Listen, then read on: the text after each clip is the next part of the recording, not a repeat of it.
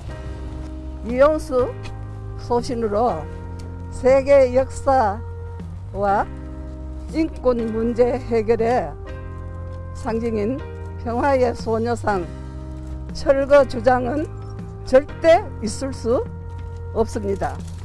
이 중요한 역사의 증거인 소녀상 철거를 주장하는 것은 나쁜 행동입니다. 역사의 죄인이요 소녀상은 피해자 할머니들의 한과 슬픔이요 후세 교육의 심장입니다. 독일은 일본과 같이 2차 세계대전 패전 국가이지만 일본과는 다르게 과거 역사를 반성하고 잘못된 역사를 바로잡는 것에 앞장선 나라입니다.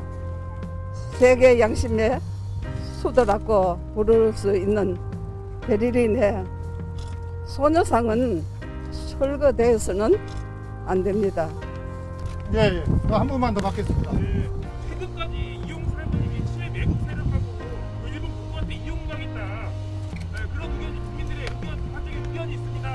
이 부분에 대해서 한 말씀 해주시죠. 이 얘기도 다음에 하시죠. 뭐.